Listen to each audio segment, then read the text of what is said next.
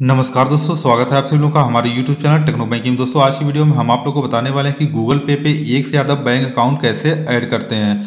तो आइए दोस्तों, बिना समय गवाए वीडियो स्टार्ट करते हैं। दोस्तों, इसके लिए सबसे पहले आप लोग को गूगल पे ओपन कर लेना। ओपन होने के बाद आपको कुछ इस तरह का इंटरफेस देखने को मिलेगा। सबसे ऊपर राइट कर्नर पे आप लोग जो प्रोफ़ाइल वाला सेक्शन देख रहे हो, इसी पे आप लोग को क्लिक कर देना। जैसे आप लोग प्रोफ़ाइल वाले सेक्शन पे क्लिक करते हो, आपके सामने न्यू इंटरफेस आएगा।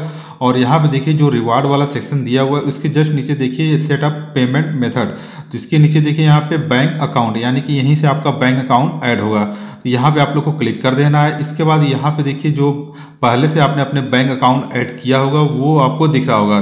अब आपको दूसरा बैंक अकाउंट अगर ऐड करना है तो यहाँ पे इसके जस्ट नीचे देखिए ऐड बैंक अकाउंट का आपको ऑप्शन मिल जाता है। तो इसी पे आप लोग को क्लिक कर देना ऐड बैंक अकाउंट इसके बाद आपके सामने न्यू इंटरफेस आएगा और इस यहाँ पे लगभग इंडिया में जितने भी बैंक हैं, कार्यरत हैं और जो गूगल पे से टाइप है, उनका पूरा लिस्ट यहाँ पे आ जाएगा।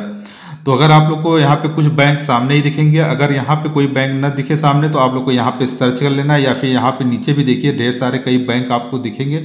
यहाँ से भी जाकर आप अपना बैंक सेलेक्ट कर सकते हैं। बट यहाँ पे अगर न दिखे तो यहाँ से आप लोग सर्च कर सकते हो।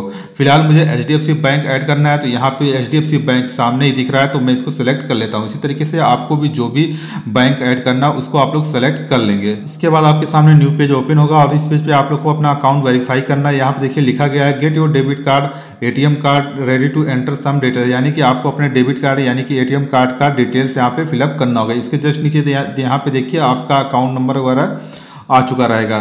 तो यहाँ पे इसके नीचे जस्ट देखिए, यहाँ पे ब्लू कलर में आप लोग को स्टार्ट वाला ऑप्शन दिख रहा है। इसी पे आप लोग को क्लिक कर देना स्टार्ट इसके बाद सबसे पहले आप लोग को अपना कार्ड नंबर यहाँ पे फिलअप करना है। इसके बाद एक्सपायरी डेट फिलअप करनी है। देन यहाँ से नेक्स्ट कर देना है। यहाँ पे एक चीज़ क्लियरली मेंशन है debit card last six digit यानी कि आप लोग जो अपना डेबिट कार्ड का नंबर फिलअप करोगे, एटीएम कार्ड नंबर, उसका सिर्फ़ last digit, last six digit ही आपको फिलअप करना है। बाकी का नहीं फिलअप करना है, केवल लास्ट सिक्स डिजिट है आपको फिलअप करना है। तो कार्ड डिटेल्स एंटर करने के बाद आप लोग को नेक्स्ट कर देना है। जैसे आप लोग नेक्स्ट करोगे, इसके बाद यहाँ पे आप लोग को एक पिन क्रिएट करने के लिए बोला जाएगा। यहाँ नीचे देखिए, क्रिएट पिन का आपको ऑप्शन मिल जाता है। तो पिन क्रिएट करने के लिए सबसे पहले आपके रजिस्टर्ड मोबाइल नंबर पर एक ओटीपी आएगा। ओटीपी ऑटोमेटिक यहाँ पे फिलअप हो जाएगा। अगर नहीं भी फिलअप होता है तो आपको यहाँ पे ओटीपी फिल कर देना फिल करने के बाद यहाँ पे आप लोग को नेक्स्ट कर देना है। इसके बाद यहाँ पे देखिए enter four digit ATM pin इसके बाद आपने अपने एटीएम के लिए जो पिन यानी कि डेबिट कार्ड के ट्रांजेक्शन के लिए जो पिन आपने क्रिएट करा है पिन के थ्रू आप ट्रांजेक्शन करते हो, उसको यहाँ पे फिल कर देना है। देन नेक्स्ट कर देना है। नेक्स्ट करने के बाद अब आप लोग को गूगल पे के लिए यहाँ पे यूपीआई पिन क्रिएट करना अगर आप लोग जो गूगल पे पे फ़र्स्ट वाला